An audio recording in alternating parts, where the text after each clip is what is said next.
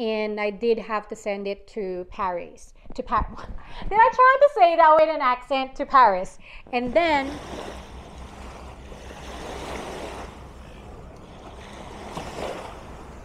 Hello, welcome to the Traveling Marketer.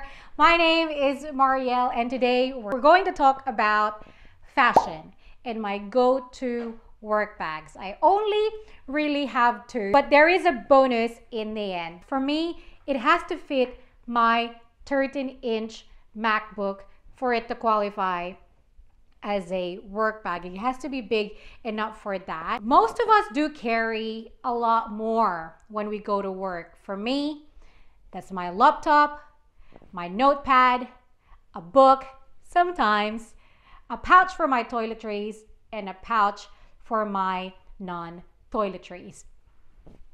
What are non toiletries? That's pretty much my card holder, my keys, my pen, my USB charger because I charge my phone uh, using my my monitor's power at my desk in the office and my work badge, of course. And I want to show you what actually goes in my toiletry pouch. Here you go. I also wanted to say that initially I wanted to buy one of those designer toiletries, you know, that Louis Vuitton ones. But then I thought, what's the point? There's really no need. So instead, I'm repurposing this small Mimco purse, which was gifted to me by my sister-in-law. And this is where I carry my tissues, my hand sanitizer. Since COVID started, I started carrying them everywhere. My floss, and of course, my hand cream as well. I also repurposed this Petey Paula pouch. My best friend gifted me a Petey Paula necklace and it came with this pouch and this is where I put my non-toiletries that I mentioned earlier. So right now there's nothing, there's nothing in it because I've been working from home since we're still in lockdown in Sydney. But yeah, those are the two, those are the main things. I don't use a bag organizer eh, because I put everything in pouches anyway. If you came here to watch the only two work bags that you really need, because you can really just do with two bags, make sure that you make it a light one and a dark one. In my case, I have a black one and a white slash cream one for my light version. So let's start with the light one. My Louis Vuitton Never Neverfull I remember when I was working at Vinnie's, there was a regular customer that would carry this exact same bag. It was because of her that I that I wanted it, and it's quite hard to find. This is the Damier. I don't know if I'm pronouncing that correctly. So if you know how to pronounce it right, let me know in the comments. But this is the Damier Azur. And Azur actually apparently means blue in French. And that is because you'll see the white and gray check. Those gray are actually apparently blue. So this is the MM size. There are three sizes and MM is pretty much the medium. It is called Neverfull for a reason. Everything really fits. You can also adjust it so that it's more of a bucket bag like so and then you just pull that in yeah and then you do the same thing on the other side but it doesn't really work i'm I, am i am telling you it it would go loose and go back to its original shape anyway so this wasn't very easy to find back in 2017 2018 is when i bought it but i did i finally found it in seattle at the nordstrom uh, store I bought it for, let's find the receipt here. Here's the receipt.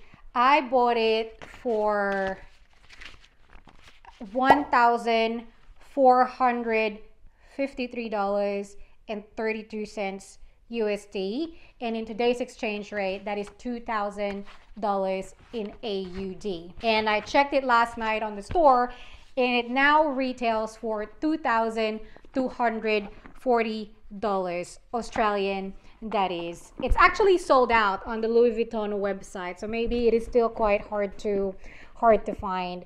I've had it for three years and two days, so I checked the receipt. Bought it September 16, 2018, and I've had to send it out for repair. In fact, this is my second Louis Vuitton bag that I've had to send for repair, and this particular one, I actually had to pay for it. It was just over a hundred dollars. The side strap so this particular strap broke. It's this like clasp right here. I can't remember if it was this part or it was that that broke. But anyway it, it snapped and obviously had to um, had to repair that. As you can see they they asked me well because it was over a dollar uh, over hundred dollars so they asked me if i wanted to swap both out and like no. And that is because look at the color of this. It hasn't patinaed much because i haven't been with the lockdown haven't been really going out as much in comparison to the rest of the leather in this bag which is the perfect honey color. That's just i don't want it i don't think i want to i want it to go any darker. This is just the right patina that i like. I've seen them really dark brown and i don't like the contrast of it with this light canvas. It was it was just a bit too much. Yeah so you'll see that in the in the handles, and again, if it doesn't work, I might have to show it to you via a zoom.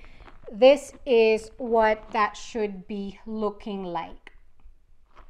That dark seal. And if you look at this newer one, you'll see exactly what that looks like. That's no longer the case, uh, especially where where it hits my it hits my shoulder, but it still does the job. Stitching is still perfect. The corners are great. It's canvas, so it's kind of hard to really break it. A uh, little bit of discoloration on this corner here, but outside of that, it's it's still it, it's still perfect. I also have my initials stamped on it. I did have it stamped in Sydney because I was traveling in Seattle then, brought it back to Australia and they I had it stamped in the Sydney uh, Sydney store. Looking inside, it's just a it's plain tote bag here. There's a zipper in here that goes as deep as the bag and there's a pouch as well, which I don't really tend to, to use. And you can see how that is a lighter patina as well because it doesn't quite hit the, the sun nor gets in contact with my skin as much. And you'll see that inside, I don't know if you can see it, there are some black corners on left and right there. And that's the edge of my laptop because that's, I tend to keep putting my laptop on that side. And where this this metal bit here, this hardware hits the material, it gets dark as well. I haven't had it cleaned, so I'm sure it'll be it'll be fine. I actually wanted the the one where they have the pink lining inside, but they only had the cream one in Seattle at the time, and I'm glad that I did because it's a bit more it's a bit more neutral neutral. So not only is this my go-to work bag, but also my go-to travel bag both for work and for leisure. It's I like small to, to medium bags usually, and but for those purposes, travel and work, especially in transit when you're travel, this is my go. It, it, it's a, it's a perfect size, and if you are the type that carries a lot with you, then this is a great casual casual bag and you don't have to get Louis, Louis Vuitton, right? It's just a tote right about this shape. It's perfect. Now it's time for the dark bag. This one got a story. My black Givenchy, did I pronounce that right? Let me know in the comments again. Givenchy Antigona in a smooth calf leather medium size. There are three Antigona sizes, similar to the uh, Louis Vuitton Neverfull, and which is the mini, the small, and the medium, which is this one, like small, medium, large. Really, they they should just call this large because it is huge. And here's the story. Wade, my husband, bought this for me as a birthday gift when we went on our honeymoon back in 2018. We got it from the mall in Florence. So the mall is the most picturesque, got an amazing, majestic views, and it is a luxury outlet shopping center. So if you're ever nearby, Tuscany, Florence, just check it out, even just for the views. And they also have a Gucci cafe in there. So he bought me, he got me a few, uh, a couple of things, and this was one of them. Well, not exactly this, right? So here's the uh, here's the story. As I said earlier, I'm not really into big bags, but back then I wasn't really thinking about my purchases. I only really started buying designer bags a couple of years ago, and at the time, I liked it, looked good, it's cheaper. We bought it, and it was it was red. You will never really find, or very unlikely you find the the the neutral color colors like black in an outlet store. It was bright red, which I didn't have any problems with because I can pull off a bright red bag. I used it a lot actually, but I was traveling to Auckland one day for work and the strap and the strap just broke. Yeah, so this part right here that where you connect it came loose. So imagine my frustration, ouch, traveling for work and I couldn't put the bag over my shoulder because and it had to break whilst I was traveling. So as soon as I got back to Sydney, I went to the Sydney store in Westfield. They weren't exactly very helpful, so I had to email the headquarters and I did have to send it to Paris. To Paris. did I try to say that with an accent to Paris? And then one day, then they sent me a a note saying that they couldn't repair it, and if I was happy with a black one instead. And I didn't fight it. I could probably get more wear out of a black one, so I agreed. I'm telling you guys, this is the I've had four designer bags that had to that's just decided to randomly fall apart and I don't know why I still keep keep buying it. And here's the note that they they sent me. To Mrs. Maryel Roman Price. It was a handwritten note. Dear Maryel, we are sorry for the issue encountered with your Givenchy product. You received today a new Antigona bag in black, smooth leather as you wish. Didn't wish it. Anyway, we hope you will enjoy using it. Thank you for your loyalty. Givenchy customer service. I have not stepped foot in another Givenchy store again. I guess it was really more of the experience that I had at the Westfield Sydney store more than more than anything. So well, let's now look at the, the features of this bag. It's a really heavy bag. Wade actually weighed it just before we started filming. It's about 1.3 kilos and it's quite boxy and very structured, which I like. It's a removable strap, which I have, it's quite, there is a trick trick to it. I barely use that. I when I do when it gets too heavy, I I do put it over my shoulder, but it's too big, as I said, and I'm quite small. So when I do, it's pretty much the size of my upper upper body. So it's not exactly exactly very uh, flattering. It's a smooth leather, as I said earlier, but there's no scratch. Like a, maybe a very like all right, some I lied, tiny ones in there, but I'm the type that would put my bag on the floor.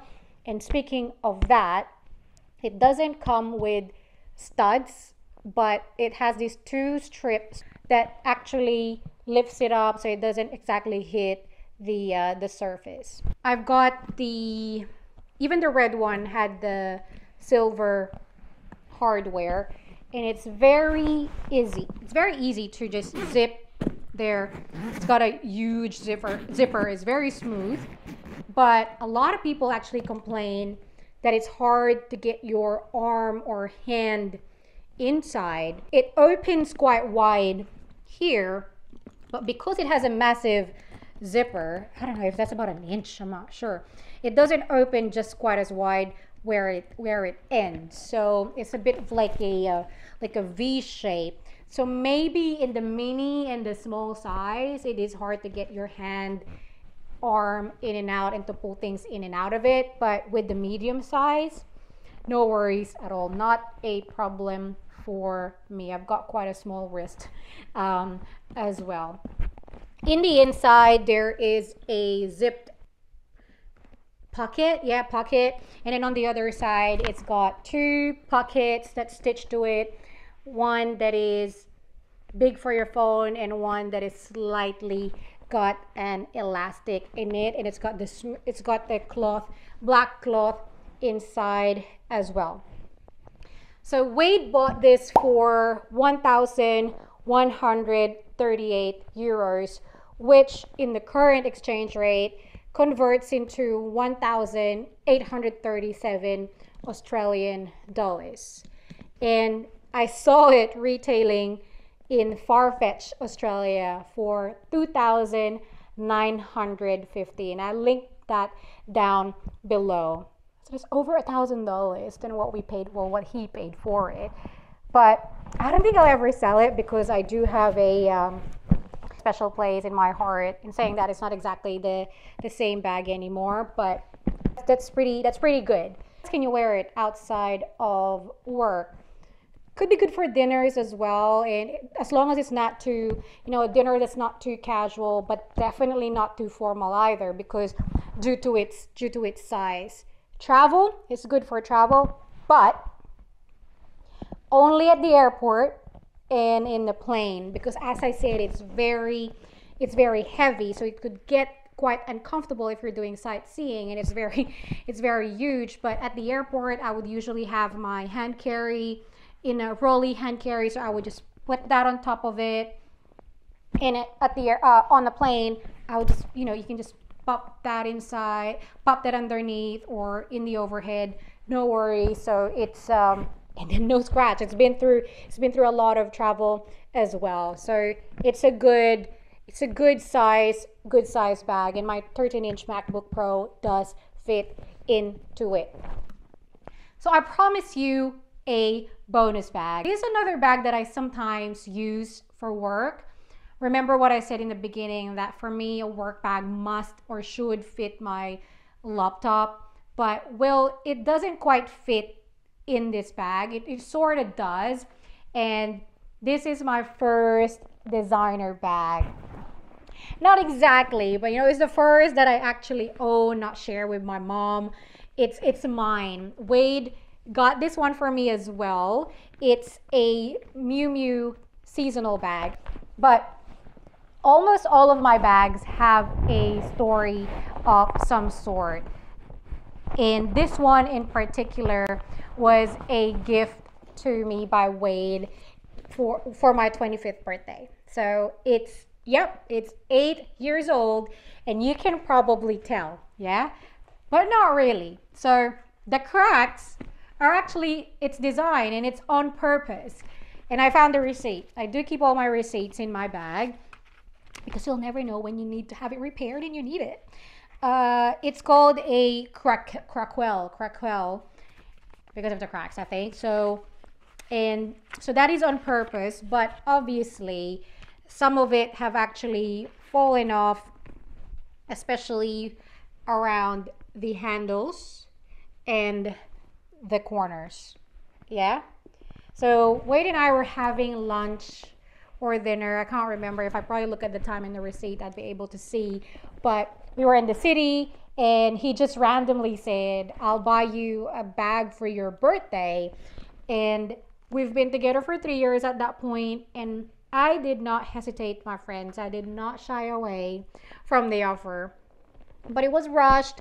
You know, we had a budget and just walked around the the shops and the stores, no plan really of which bag to to get. So whichever I liked, you know, that's what we went for, and this was it. This was this was the one. It will always have a special place in in my heart. It's actually the my only bag that has an old leather smell, and I think it's because I was stuffing it with newspaper previously to keep it shape. I've then I've stopped doing that because I read somewhere that it actually does make your bag smell and I've taken it out of my of its dust bag as well so I can air it out and I'm hmm, happy to announce that it doesn't smell as strong anymore so my laptop does fit as I said if you put it in vertically it sort of it sort of does fit. It just makes it a bit awkward and hard to carry. That's about it. Couldn't really put it in the crook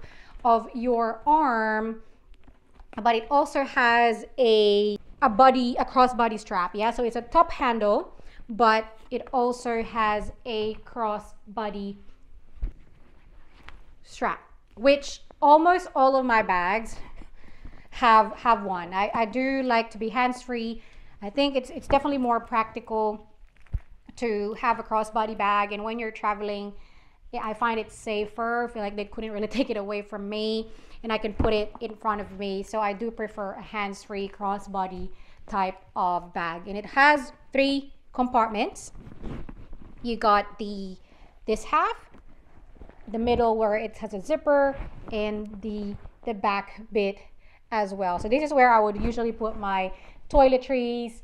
The middle part I don't usually use. I would just pop in the the strap in there actually and also the dust bag and then the other the third compartment is where I would put my nine my non-toiletries. I like separating them, like the dirty versus the versus the, the versus the clean.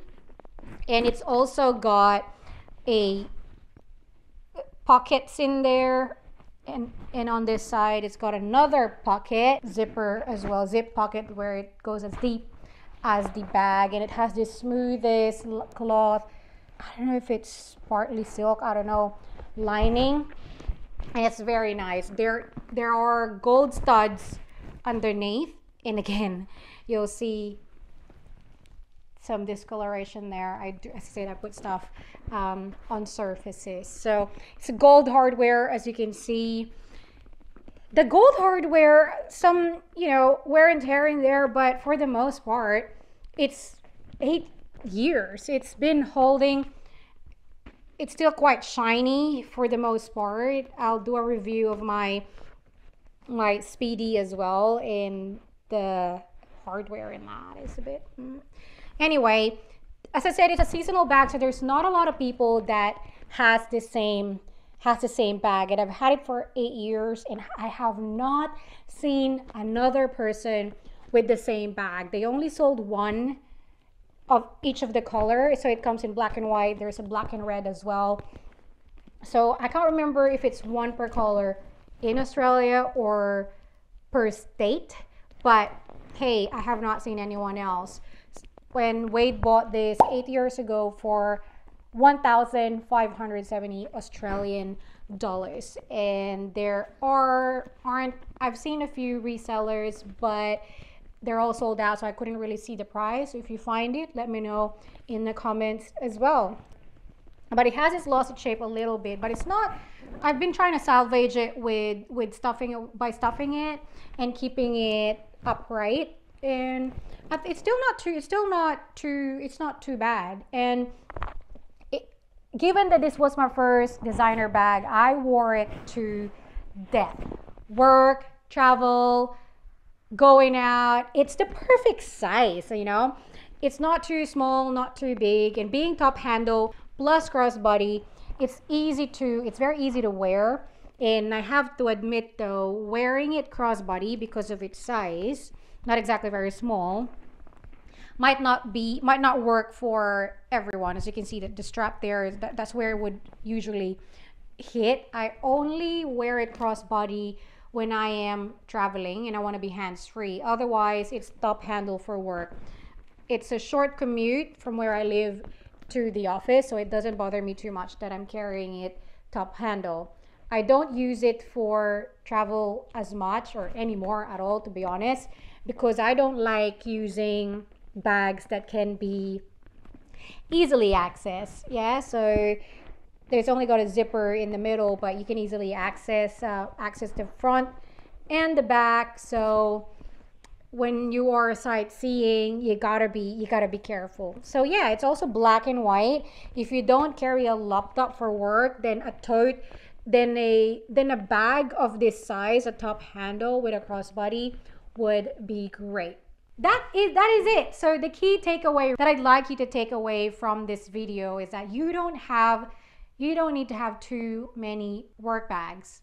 And one one or two are fine and a light and a dark one if you must would really cover your whole work wardrobe i hope you enjoyed that and found it useful there'll be more. We post a video every week so make sure that you hit that like and subscribe button and we'll see you next week